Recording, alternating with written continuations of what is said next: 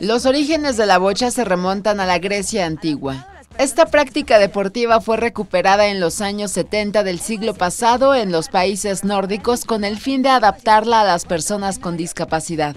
Se introdujo por primera vez en los Juegos Paralímpicos de Nueva York en 1984 como un deporte de competición.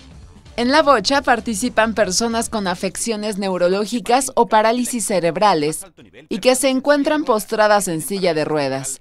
Se practica de forma individual, por parejas o equipos, sobre una pista rectangular en la que los jugadores tratan de lanzar sus bolas lo más cerca posible de una pelota blanca denominada jack, que sirve de objetivo a la vez que intentan alejarla de sus rivales en un ejercicio continuo de tensión y precisión.